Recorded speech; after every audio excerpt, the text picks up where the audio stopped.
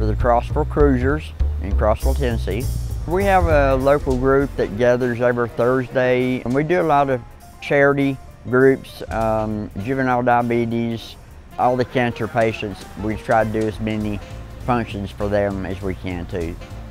We are in the Cumberland Mountain State Park, so we're just kind of uh, commemorating all the, the people that have come across this bridge and, and the state park is a fantastic park here in, in Cumberland County.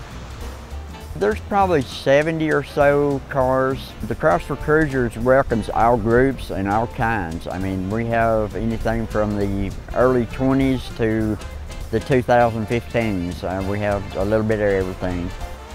They're all like family. It, it kind of reminds me of church, um, you know, a real close-knit church. And we really care for each other. And, and I, am a Ford guy, and so I really pick on the Chevy guys a lot. And uh, so, uh, but we still have a great time, you know. We're just close friends, so I love them all. They're great.